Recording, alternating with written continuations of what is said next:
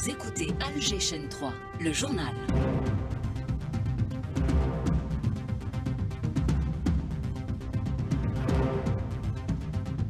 On s'informe avec vous, Walid Selman, bonjour. Bonjour Hakim Bey, mesdames, messieurs, bonjour. Et au sommaire de la matinale de ce lundi 19 février, accélérer le processus de numérisation, programme d'urgence pour l'alimentation en eau potable pour les wilayas de Buira et Béchar, instruction du président de la République en Conseil des ministres hier. Le transport des hadjis résidents dans le sud vers les aéroports de départ vers les lieux saints à la charge de l'État, autre instruction donnée par le chef de l'État. Sommet de l'Union africaine, il a pris fin hier. La déclaration finale apporte son soutien à la cause palestinienne et condamne l'entreprise génocidaire sioniste. Et à propos de la Palestine, l'Algérie soumet un projet de résolution non amendable appelant à un cessez-le-feu immédiat à. Il sera soumis au vote demain en Conseil de sécurité. Le Forum international du gaz à Alger, moins de 10 jours nous séparent de cet important rendez-vous. Et puis en sport, Open africain euh, de judo d'Alger, deuxième place pour euh, l'Algérie avec 33 médailles dans 5 honneurs. Et puis en championnat d'Afrique de badminton au Caire, la sélection nationale se qualifie pour la finale du double messieurs et du double mixte. Le président de la République a réuni euh, hier le Conseil des ministres. Euh, présidé par le chef de l'État, accélérer le processus de numérisation, les fermes agricoles qui changent de vocation, le président de la République euh, qui ordonne l'entame des opérations de forage, des puits et de prospection des eaux souterraines dans les deux wilayas, savoir Buira et Béchar. Autre instruction du chef de l'État, le report pour approfondissement de l'exposé sur les statuts et le régime indemnitaire des corps spécifiques de l'éducation nationale. Enfin, le président de la République ordonne le transport à la charge de l'État des hadjis résidents dans le sud et l'extrême sud sud du pays vers les aéroports de départ vers les lieux saints, Chaki Benzaoui. La stratégie nationale de numérisation à l'ordre du jour. Le président de la République a souligné l'importance d'augmenter la cadence jusqu'à parvenir à une numérisation complète de tous les secteurs. Il a ordonné à cet effet d'accélérer la numérisation des données privées en vue de la préparation du terrain pour la plateforme technique et de localisation des informations. Concernant la nouvelle approche relative aux fermes modèles, le chef de l'État a décidé de transformer ces dernières en unités de production sous tutelle de l'État spécialisées en légumineuses, en huile de table et arbres oléagineux. Le président a apprécié les efforts déployés par les particuliers dans le secteur agricole, soulignant que c'est à eux que revient le premier mérite de l'augmentation de la production et de sa diversification. Concernant une présentation relative au corps de l'éducation nationale, le président de la République a ordonné le report de la présentation dans le but d'en améliorer le contenu en tenant compte du fait que l'enseignant est un éducateur avant d'être un employé. Le chef de l'État a ordonné d'étudier davantage d'offres et de propositions qui servent le secteur de l'éducation, loin de toute forme de calcul en dehors du domaine éducatif. Quant à la préparation de la saison du Hajj 2024, le président a décidé que l'État assurera à titre gratuit le transport des pèlerins résidant dans le sud et l'extrême sud du pays à décoller des aéroports vers les lieux saints. Enfin, il a été question de la stratégie du secteur de l'irrigation en matière d'eau potable et d'eau usée. Le président de la République a ordonné que des mesures exceptionnelles soient prises, particulièrement particulièrement dans la wilaya de Bouira, par le démarrage des opérations de forage de puits et de prospection des eaux souterraines dans la région de Sbarbar pour une exploitation l'été prochain. Le président a également ordonné au ministre du secteur de suivre de près le progrès d'achèvement des stations de dessalement d'eau de mer au niveau national en appréciant les progrès réalisés en matière de filtration des eaux usées. Justement, à propos euh, de numérisation, Walid Selman, l'engagement du président de la République. Un processus a relevé euh, cette année un défi, à relever cette année. Zéro papier dans l'administration, euh, c'est un des objectifs à atteindre. La numérisation, socle d'une gestion transparente, libérée du joug de la bureaucratie. Samia Alona.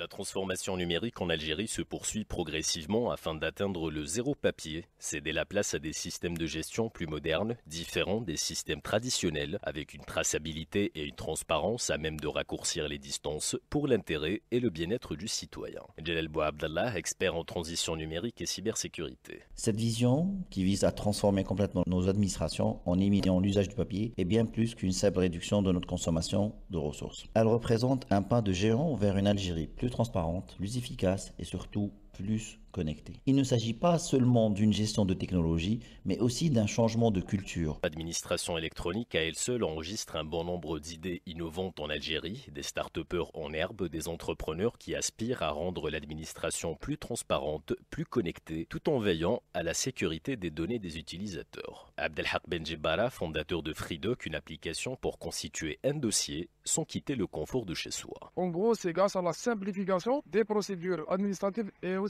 la clarification des choses. C'est une avancée technologique, si on peut dire ça comme ça, qui à grande échelle pourrait transformer la manière dont nous interagissons avec l'administration ou de manière générale avec les institutions de l'État. Des infrastructures pour renforcer davantage la transition numérique du pays, à l'instar du data center mis en place dernièrement par le ministère des Finances ou celui prévu en collaboration avec Huawei, des bases de données pour renforcer davantage la souveraineté numérique de l'Algérie et participer à sa modernisation.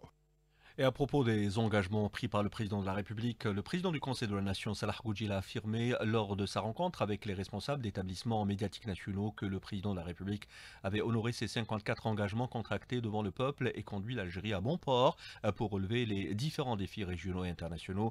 C'était à l'occasion de la journée nationale du Shahid. À propos de la journée nationale du Shahid, rappelant que dans un élan patriotique exceptionnel, la communauté algérienne établie à l'étranger a célébré la journée nationale du Shahid à Paris, Marseille, Rome et Madrid. Notre communauté a répondu euh, présente en France. Ils étaient plusieurs milliers à répondre à l'appel pour un grand rassemblement à Paris, même si la manifestation avait été interdite par les autorités françaises sous prétexte de risque de troubles à l'ordre euh, public. Fin des travaux hier au Litzeleman du sommet de l'Union africaine. La déclaration finale de cette 37e édition n'a pas manqué d'apporter son soutien à la cause centrale qui est la cause palestinienne, condamnant l'entreprise génocidationniste contre le peuple palestinien, Arza notamment Liesterini. L'Union africaine exige d'abord que l'entité sioniste lève le blocus de la bande de Raza, un blocus qui dure depuis 17 ans. L'UA condamne également la guerre violente et le recours excessif à la force contre 2,2 millions de civils palestiniens. Les tentatives de déportation forcée des Razaouis sur la péninsule de Sinaï ont été dénoncées. Les pays africains appellent Israël à respecter les décisions de la Cour internationale de justice sur la prévention du génocide, en réclamant une enquête internationale indépendante sur la violation par l'entité du droit humanitaire ainsi que l'emploi d'armes interdites et les attaques contre les hôpitaux et les médias. Je rappelle que plus d'une centaine de journalistes palestiniens a été tués depuis le 7 octobre dernier. Invité au sommet, le président brésilien Lula a lui condamné une nouvelle fois les actions de l'entité à Gaza, affirmant qu'il n'y a pas de guerre en cours à Gaza et que cela est plutôt un génocide. Et dans le dossier palestinien, à toujours rappelant que le chef de la diplomatie euh, qui a représenté le président de la République lors de ce sommet a pris part hier à une réunion des pays africains membres du Conseil de sécurité. Le Conseil de sécurité, l'Algérie d'ailleurs a soumis un projet de résolution non amendable appelant à un cessez-le-feu immédiat. Il sera soumis au vote demain. Je vous propose d'écouter le chef de la diplomatie, Ahmed Attaf. Pen to draft a resolution L'Algérie a élaboré un projet de résolution pour demander un cessez-le-feu à Gaza. Je saisis cette opportunité pour remercier A3 pour le grand soutien à notre initiative. Nous devons affronter toutes les tentatives de faire taire le Conseil de sécurité face au génocide et au déplacement forcé et le déni du droit légitime du peuple palestinien de rester dans son pays. Envers et contre tous, nous continuerons à défendre la cause palestinienne et toutes les justes causes dans le monde en incluant la cause du Sahara occidental including in the Western Sahara, must remain intact, alive and unwavering. Et sur le terrain, plus de 100 martyrs en l'espace de 24 heures. L'entité sioniste qui continue son entreprise génocidaire et s'attelle au déplacement forcé des populations de Rafah qu'elle bombarde. Khan Younes est également ciblé d'intenses raids. Plusieurs dizaines de martyrs encore.